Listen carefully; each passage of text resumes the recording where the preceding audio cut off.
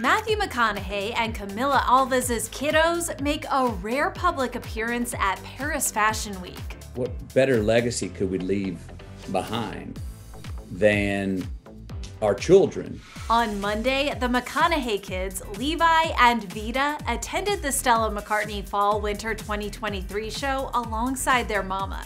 That's a 14 year old rocking a matching black and tan tracksuit with a cream oversized jacket and a pair of black sneakers, looking a whole lot like his A list dad. I love it. As for Vida, the 13 year old is the spitting image of her mom in a chic white dress and a pair of mini Ugg boots.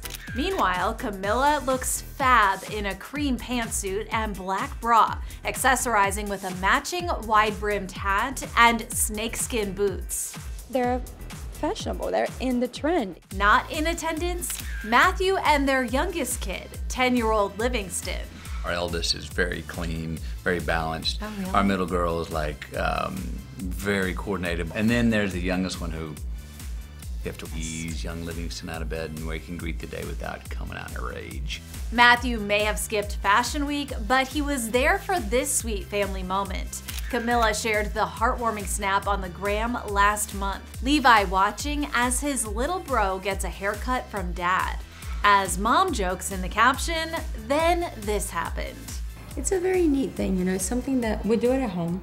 The Oscar winner also shared this proud dad moment last week, putting his son's surf souvenirs on full display. Wherever you go surfing, even if there's no waves, it's still a good time. Shortly after Levi was born, Matthew told ET they were already preparing him to hit the waves.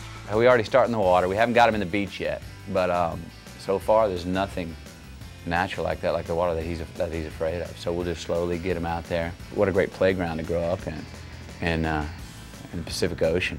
If you can get out in the salt water, that's going to be his pool, hopefully. You know, if that, if that's what he digs. But Matthew and Camila are passing on more than their hobbies to their kids. They're teaching them how to make an impact. We are fortunate to have a very affluent life. I'm not, you know, having to, to uh, have, having to worry if I can pay the rent next week. I'm thankful for that. There's a lot of people that do. And it's very grounding for us. I think it's, it's hopefully going to be grounding for our, our children too, to appreciate every little thing. And me, I simply appreciate a fabulous family celebrating Fashion Week. Matthew, take it away. All right, all right, all right. Oh, How you doing?